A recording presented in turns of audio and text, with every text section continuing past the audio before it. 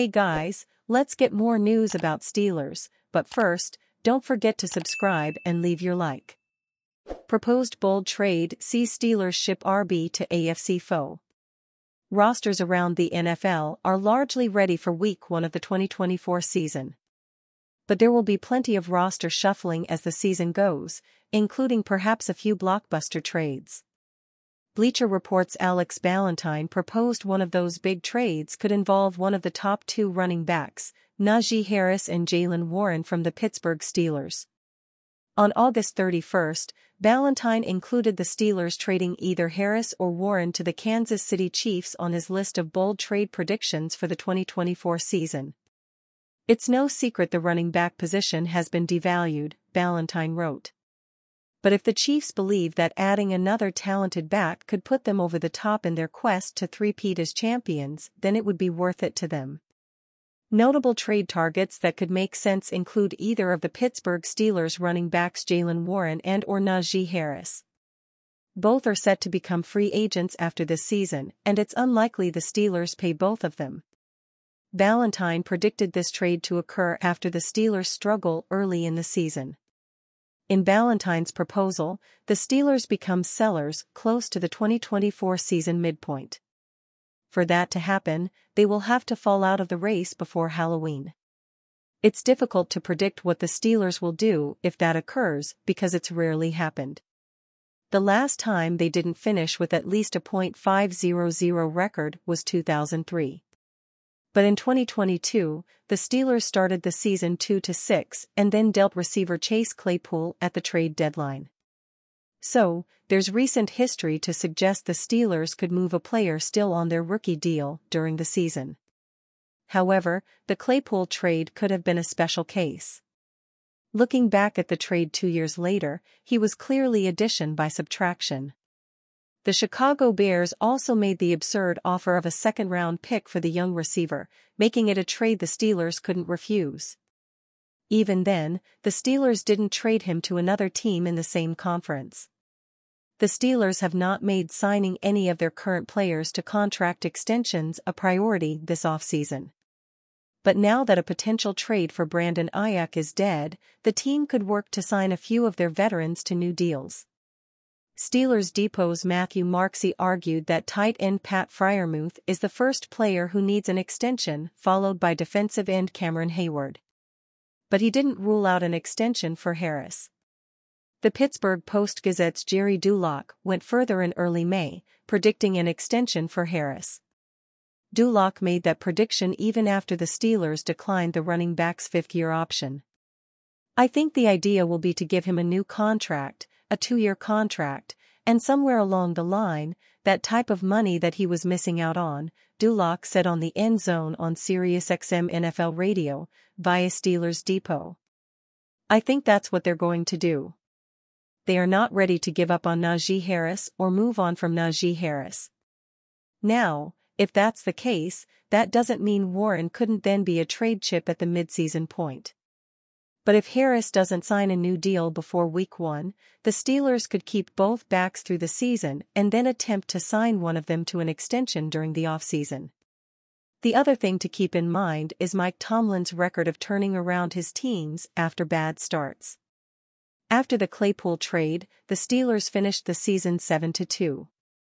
That's why the Steelers will have to be completely out of the playoff picture to be sellers.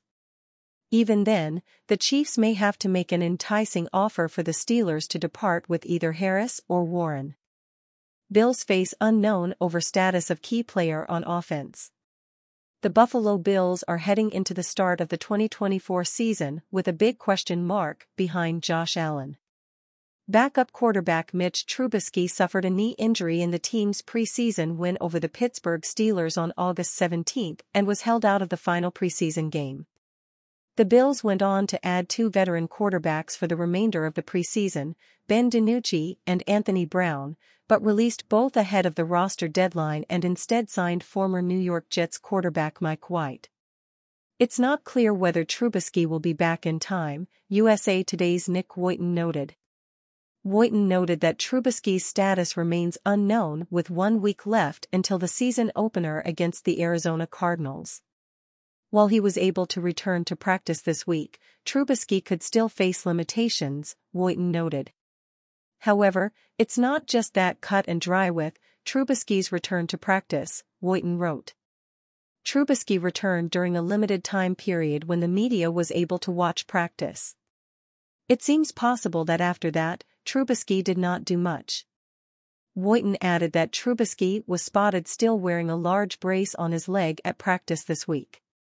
The Bills signed Trubisky this offseason after a two-year stint with the Steelers, where he initially won the starting job in the 2022 season before being replaced by rookie Kenny Pickett. Trubisky served as Allen's backup in Buffalo during the 2021 season and was well liked by the team's coaching staff. Even if he is able to return in time for the season opener, Trubisky could face competition for his job as the team's number two. The veteran quarterback struggled in the team's first two preseason games before suffering the injury, leading some analysts to suggest the Bills could look for a replacement. WGR 550 reporter Joe DiBiase suggested after the preseason win over the Steelers that the Bills could bring in veteran free agent Ryan Tannehill to back up Allen.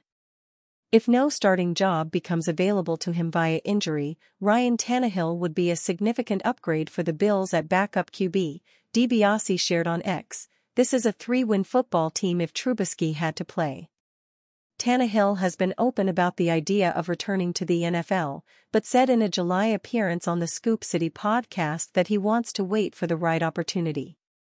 Right now, I think it's going to depend on situation, Tannehill said. At this point, I've been blessed to play 12 years and be where I'm at, so I'm not just going to continue to add years to add years. I want to be in a situation that I feel really good about. I'm not ruling anything out, but it's going to have to be the right situation for me and my family. The Bills could also elevate White to serve as Allen's backup. White has started seven games in his NFL career, completing 62.6% of his passes in his career for 2,219 yards and 9 touchdowns with 13 interceptions.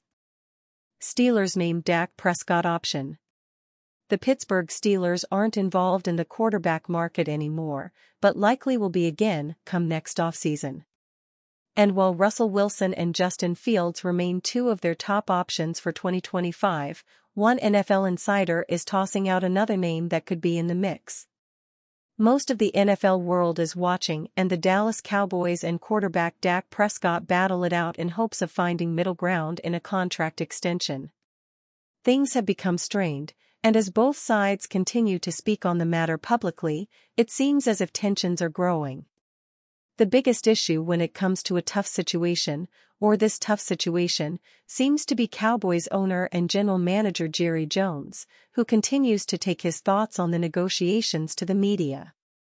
So, NFL insider Mike Florio believes a change of scenery could be on the mind of the quarterback, and the Steelers are the easiest option to avoid the drama. Would they pay Dak market value? Here's the thing about free agency.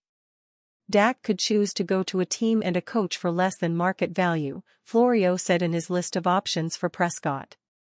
After having Jerry Jones try to persuade him for years to take less than he could get elsewhere, Dak could stick it to the Cowboys by choosing to take less from one of their biggest AFC rivals the Steelers will evaluate their two quarterbacks throughout the season, and Wilson and Fields will remain their easiest choices for a starter next year.